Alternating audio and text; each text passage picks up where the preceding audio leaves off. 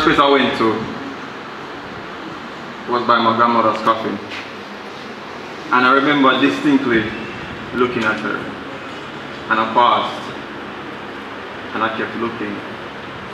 And I kept looking. My mother was beside me and she said, but I feel excitement for me now. but little did she know that I was so fascinated with how my grandmother managed to take with her her trademark coat in the end.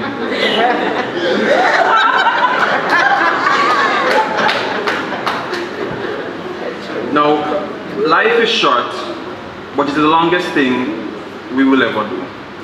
Live.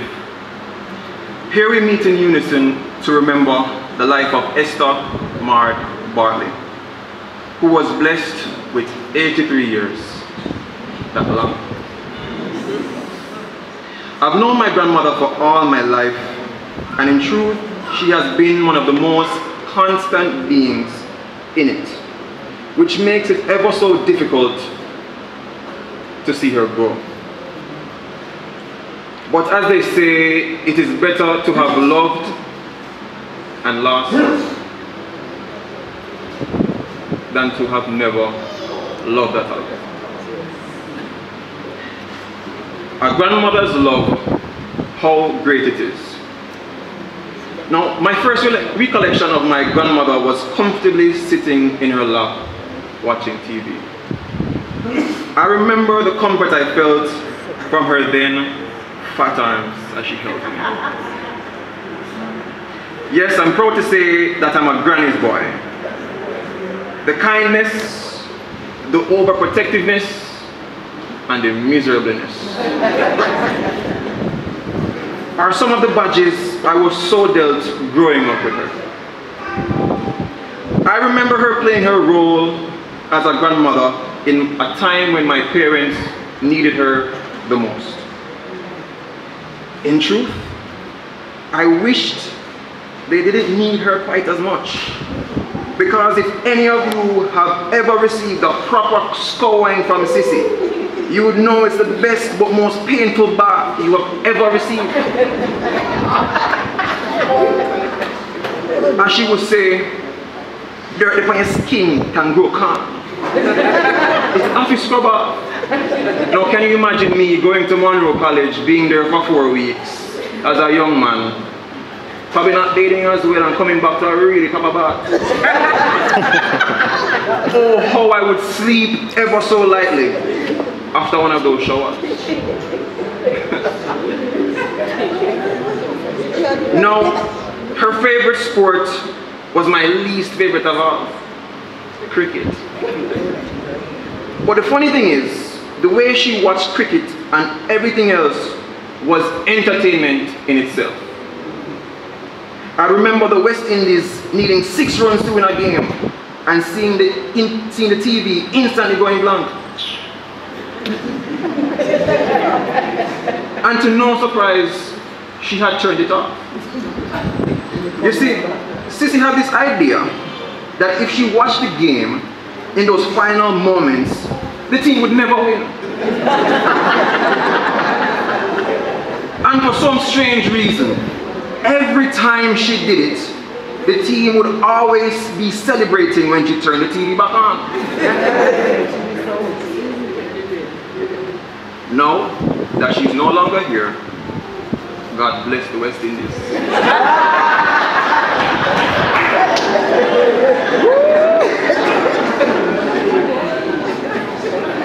Sissy also loved to watch a couple of TV shows like All Together Sing, Price is Right, Wheel of Fortune, The Bold and the Beautiful, and The Young and the Restless. That too was hilarious. As you could hear her talk to the TV as if the characters could actually hear her.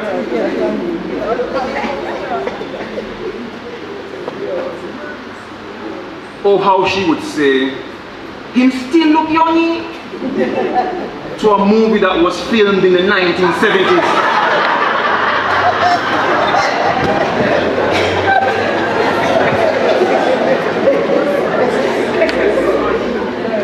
School challenge quiz was another one of her favorites. She could easily tell you which team had won the year before with the aid of her record book. I often thought to myself that she was the fifth player on the team. She loved with how she would say, Stop the button when you know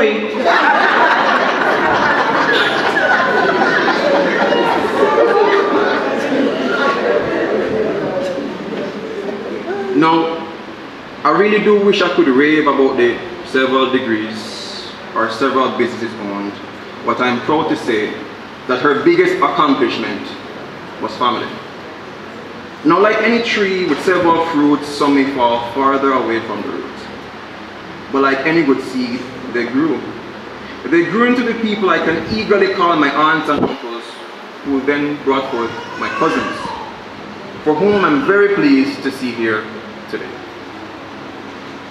To each of you, I know she loved ever so dearly and prided in every accomplishment you might have toiled through in the rain. For rain allows seeds to grow. Growth takes fighting, and Sissy was a rebellious fighter in every sense of the word.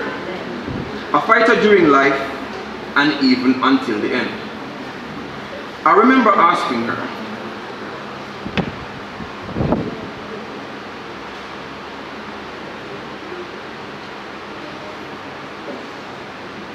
you feel you might live to see my first child.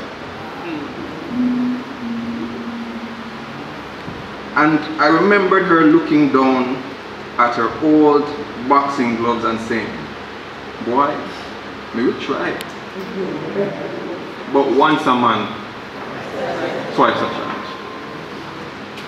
Now, Emmanuel know, you know, I, I found this poem.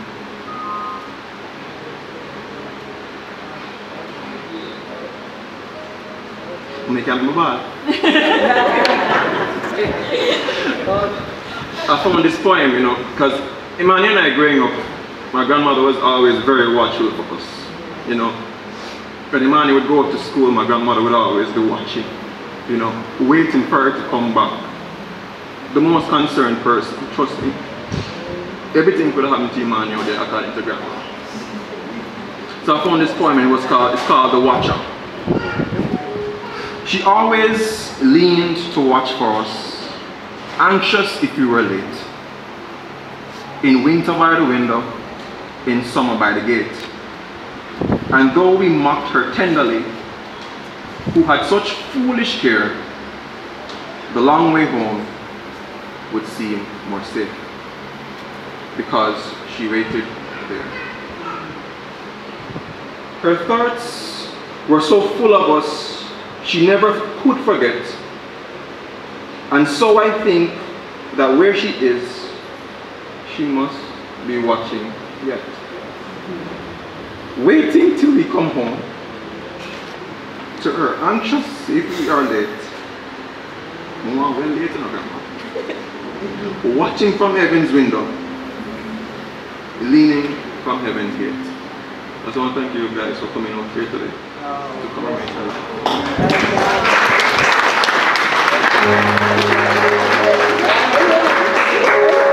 come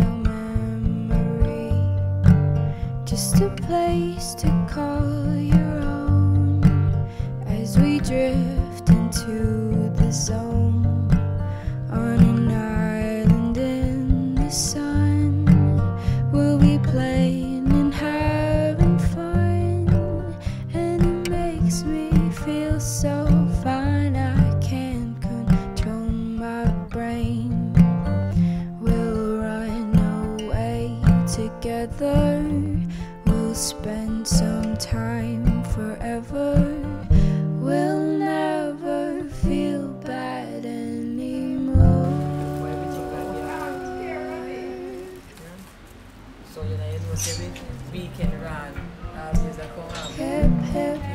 Instagram, man.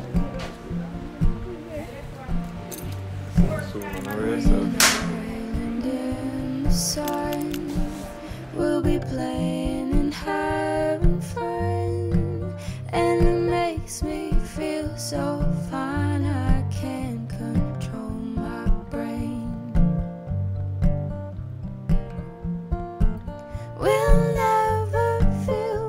Dear, love you, I love you, man. Love you too. Bye. Yes, dear.